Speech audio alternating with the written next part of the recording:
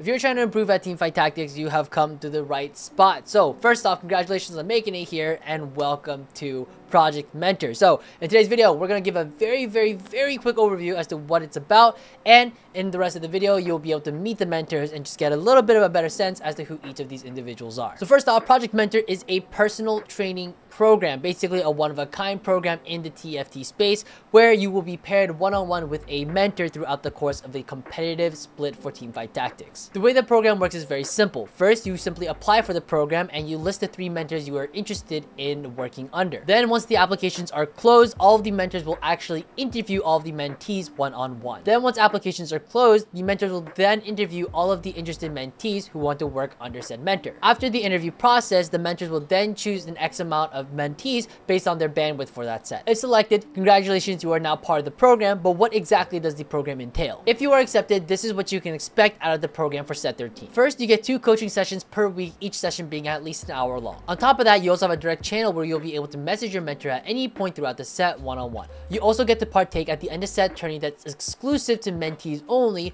who will then compete against each other to try to win some prizing, and this tournament acts as a great way to start learning how to prepare for tournaments and cups. And unlike last set, we are actually also including a mid-set tournament for this time around, so you'll actually get two chances to try and compete and prove what you've learned. Again, both of these tournaments will be mentee exclusive. And on top of that, you also get once a week optional group VOD review sessions where you'll be able to talk with other mentees and mentors, and you'll be able to VOD review and analyze some pro games. All of those optional VOD review sessions will be led by me. Again, the program is a paid program and it's a very highly selective program, so I highly suggest doing your research, make sure this is something you really want to commit to, and if it is, make sure you kill that interview. But now that you know what the program is about, allow me to introduce you to the mentors via some quick interview questions. What are some of your greatest achievements as a player? Getting 2K in uh, set 10, 2100 uh, LP. Set 11, getting uh, 2K again. Coach and VOD review some of the best regional players, both in EU and NA. Second place at Shurima Cup, second only to the beast himself, Setsuko. So I really started playing a lot in 5.5. Either set 6 or 7, I hit Challenger, and I've hit Challenger every set since then, consistently Challenger and, and decently high up there. So I've been playing since set one, managed to hit challenger, usually top challenger, like top 50 or so. For the last few sets, hovering around like top 20. Set 10, I peaked rank one, competitive wise, day two, uh, regionals. Set eight, I was rank one at the start of the set for a few weeks, and then I went on vacation. Then later, I, I got third place in mid set and ninth place in regionals that set. People in my study groups doing well, specifically like Wasian, Malala, and recently Re Replay kind of joined and started studying with us. There's two worlds winners in there and and one regionals winner. I would like to say that even though I may not have gone to worlds, I at least helped a little bit for some people getting to worlds and winning. Player, I've achieved rank 3 in NA over multiple sets. The most two recent ones, rank uh, set 12, set 11. Outside of that, I was a second in the Box Box boot camp. And then I've competed in various uh, cups since like set 5 even. I've been a challenger since set four. Uh, and then outside of TFT, I've hit rank one in Clash Royale. And then a lot of TFT players know this about me, but I actually was a competitive golfer growing up. I competed in the 2010 Asian Games. As of right now, my, my greatest achievement is for sure uh, making regionals and having like a 98 plus percent chance of making worlds this set uh, set 12 and then other than that winning uh, tacticians cup 3 and uh, otherwise i think on ladder my peak rank is like 7 or 6 in the past i've hit rank 1 in multiple strategy games like hearthstone hearthstone battlegrounds lens of runeterra and then i migrated over to tft i have been challenger since the second set that i ever played which was set 4 and i've hit as high as rank 3 on na now i play on singapore though. I hope to hit rank 1 there soon as well. I won set 5 msi reached regionals multiple times times. I usually do get over 1k LP, 1.2k LP. Pretty consistent player. Oh, and then I reached rank 3. What are some of your strongest aspects as a player? Uh, I'm definitely like not a greedy player. Most of the time when I'm playing in serious environment, I'm like playing tempo and pushing levels and uh, trying to punish the greedy fuckers.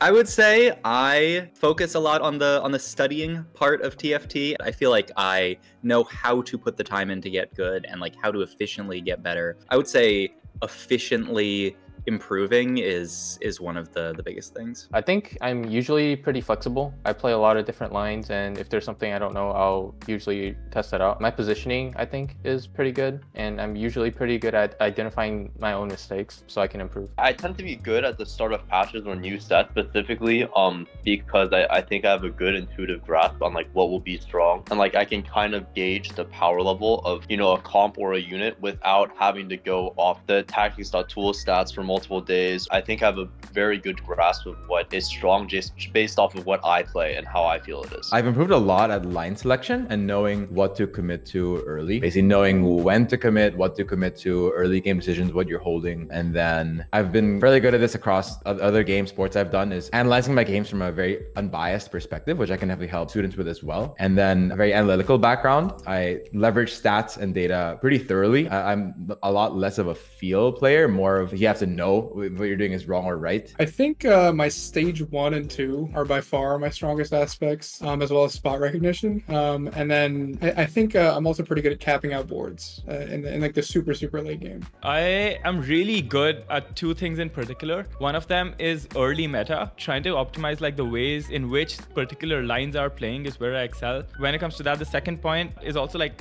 things like micro optimizations when like i like to pick like one line one comp and try to figure out like every single detail when it comes to that and optimize like how each unit should be positioned against each every other comp in the meta etc etc i'll give you strongest and worst. Strongest, I'd say my adaptability, because I like to cook. A lot of times I can get like a top four playing like weird lines because I find that the most fun. Like uh, sometimes it's just not the right playstyle, but I think salvaging a fourth from like a bad spot, cooking, you know, like coming up with innovative stuff, I think is my strongest aspects. But again, it's not as prevalent in these these last few sets. But okay, so worst aspect though, I would say by far is my mental. I'm more prone to tilt, but you know, I mean, who isn't sometimes, you know? How would you define your coaching or mentorship style? I would define I'm very interactive with the student. Instead of just teaching how to play the game, I want to understand how they play the game and what they do and help them develop how they think about the game. Instead of like uh, giving the, the fish, you give the rod, right?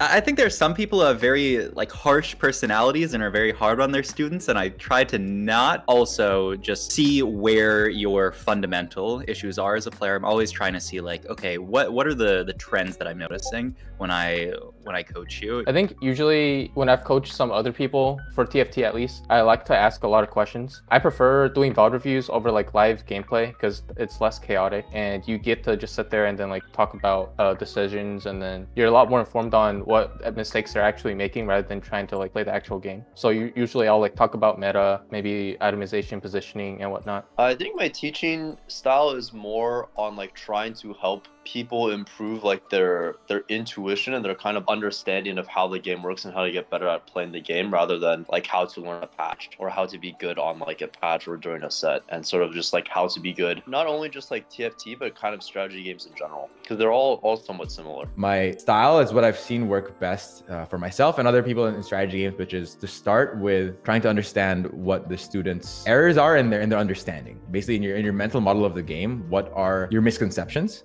and you find out what these are through asking questions, through VOD reviews, through stats analysis, and you work from there. Typically, these these things that you can uncover about your about your your misunderstandings are improvements that are um, independent of a specific patch or set, which is really useful, right? Because um, at the same time, not to say that I don't you know, also focus on just meta and patches. I'm, I'm competing myself, and so uh, ideally, you we'll be, able to, we'll be able to get the best of both worlds because I'm focusing on having to know the specifics of a given patch. But at the same time, my my focus is always towards like fundamentals, figure out what your flaws are in that sense, and that will carry on regardless of, of patches or sets. And that's sort of where I like to focus on. I think the goal of um, my mentorship with a with a student would be to find like repeatable patterns that you can recognize and actually apply not just like let's say we're, we're watching over a, an old game or like a current game and like there's something that you should be doing that you're not. I want you to really be able to recognize it in future games and not just like, no, I should have done it this game, but then have no clue the next like following game. So I think the goal would really to be um, to find those those patterns and and make sure they're drilled into you so you you uh you, you don't really make those mistakes